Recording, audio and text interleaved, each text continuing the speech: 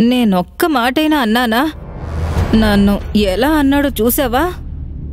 ప్రేమిస్తే అలా అనొచ్చా? బాబునివ్వలేనప్పుడు బూతులు కూడా మాట్లాడకూడదు. అందుకే పురాణాల్లో పిల్లలు కావాలంటే ఏ ఇంద్రుడికో చంద్రుడికో ఏదో ఒక దేవుడికి పూజలు చేసి వరల్లా తీసుకుంటారు. ఇప్పుడు వెంటనే కావాలంటే ఏ పూజ ఎలా చేయను? ముందే అసలే అన్ని కమర్షియల్ అయిపోయాయి. ఇప్పుడు చూస్తే వీడు కూడా లేడు. నువ్వు నాకు పిల్లాన్ని ఇస్తావా?